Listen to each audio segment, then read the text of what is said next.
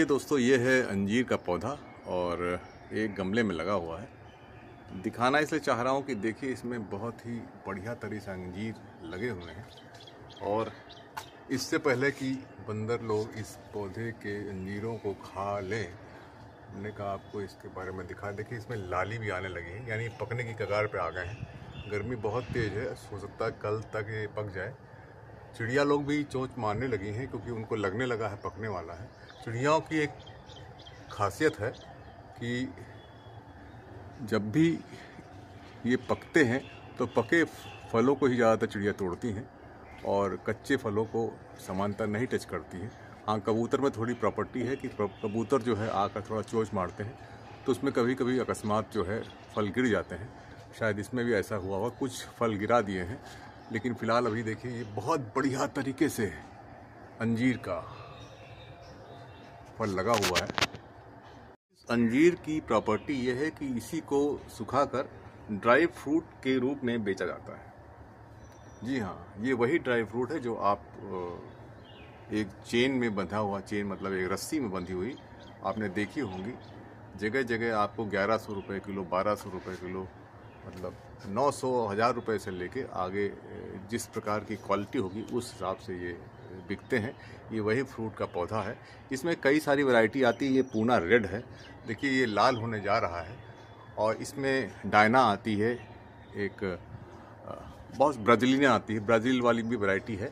वो आपको अच्छी नर्सरी ढूंढनी पड़ेंगी जहाँ से इस तरह की प्लांट मिलेंगे, क्योंकि इसमें तरह तरह के आते हैं। एक में बहुत बड़े बड़े फल होते हैं, परंतु खाने में बहुत अच्छे नहीं होते हैं। तो उस तरह की वैरायटी भी आती है, और वो लगा कर ही आपको पता लगेगा कि कौन सी वैरायटी अच्छी है। जब आप इस पौधे को घर में लगाएँगे इसमें एक प्रॉपर्टी है कि इसको आप किसी भी पॉट में हमने तो इसको इसे मिट्टी के पॉट में लगाया हम कोशिश करते हैं कि पौधों को मिट्टी के पॉट में लगाएँ लेकिन जब बड़े हो जाते हैं तो बड़ा पॉट बहुत भारी हो जाता है उसलिए थोड़ा सा कठिन होता है मिट्टी में लगाना ग्रो बैग में या प्लास्टिक के बैग में लगाना लग, अच्छा लगने लगता है परंतु अभी तक फ़िलहाल मिट्टी में चल रहा है। इसमें यह है कि इसको हम बड़ा गमला नहीं देंगे और इसकी रूट की प्रूनिंग करते रहेंगे। इसको फरवरी में हमने रूट की प्रूनिंग करी थी, उसके बाद इसी गमले में पुनः लगा दिया था। और अब देखिए, इसमें फ्लावर तो दिखाई नहीं देते, लेकिन फूल फूल भी नहीं दिखते, लेकिन फल इसमें।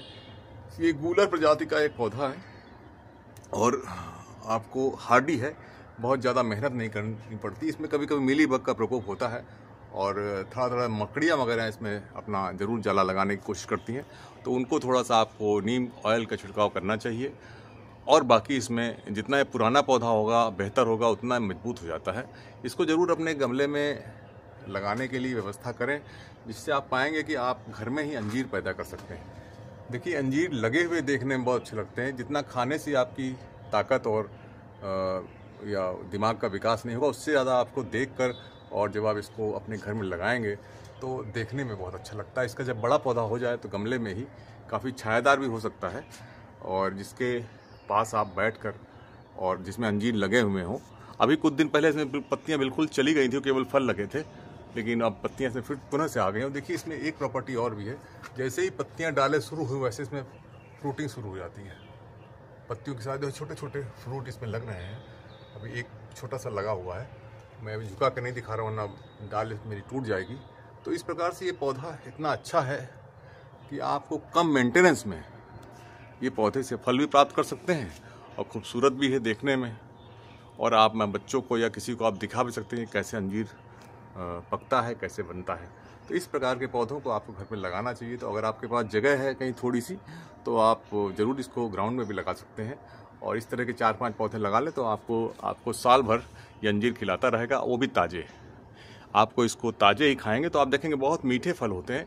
और वैरायटी आप ध्यान रखेंगे, देसी वैरायटी भी बहुत मीठी होती है लेकिन जो विदेशी वैरायटियों में कुछ वैरायटियाँ हैं, उतनी अच्छी नहीं। एक पीले कलर का भी अंजीर आता है, उसको भी बहुत मीठा होता है, ऐसा बताया है। अभी जब खाया नहीं, हमने नहीं है। लेकिन ये पौधा जो इसका है, पूना रेड इसका रेड कलर का एकदम हो जाएगा, जैसे रेडनेस आने लगी है, अभी ये बिल्कुल रेड हो जाएगा, और तब आप देखेंगे कि इसमें बहुत अच्छा स्वाद आता है, और बहुत ही स्वास्थ्यवर्धक है।